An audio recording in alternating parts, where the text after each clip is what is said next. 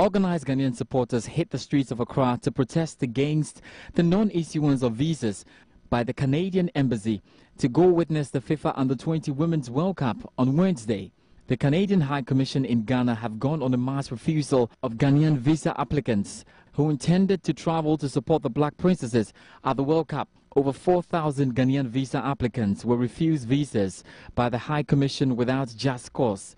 Even high-ranking government officials and other personalities Despite fully satisfying all travel requirements, irate Ghanaian fans decided to hit the streets in protest of what appears to be a clear policy of the Ghanaian embassy not to let in any Ghanaian. This policy is believed to have been influenced by reports over 200 Ghanaian fans who traveled to Brazil for the 2014 World Cup and applied for political asylum under the false pretext of tribal war in Ghana.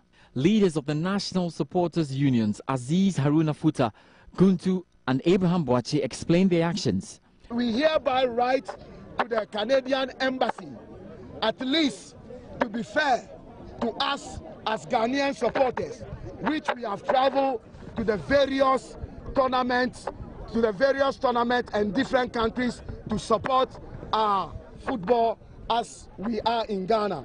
We are doing it for Ghanaians. What Canada Embassy did against Ghana supporters and fellow Ghanaians is not good. Because if you know that you won't give us visa, you don't have to take our money. The shabby treatment and the improper consideration the Canadian Embassy has shown to Ghanaians. We hope this demonstration is going to send a message to them. But we are, showing, we are, we are showing you this demonstration is going far.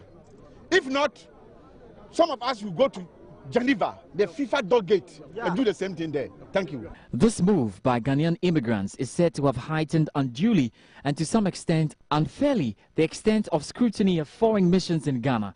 The demonstration was first planned to take place last week, but was put off after an assurance by the Sports Ministry to make an intervention. This intervention never came.